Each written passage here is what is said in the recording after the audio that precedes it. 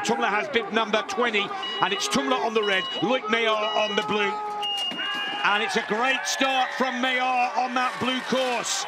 Now he's just got to keep this clean and error-free. Tumler draws level on the red. Both skiers off the first jump. Now Meillard looks to find another gear. The blue course with a slight advantage. Tumler stays clean, keeps his calm, but it's Loic Meillard that's got this surely. Meillard wins the parallel giant slalom in Chamonix. 100 World Cup points and takes the parallel GS discipline title for 2020. Thomas Tumler makes it a 1-2 for Switzerland, but has to settle for runner-up position.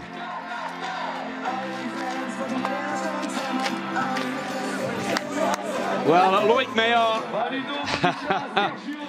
who was uh, runner-up in the giant slalom in Garmisch last Sunday, wins here in Chamonix this Sunday and wins in style. Here's the slow-mo replay. Tumler trying his best to keep the pressure on.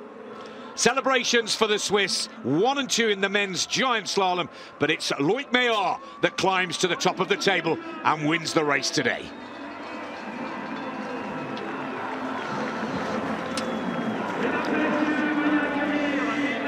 De la FISE.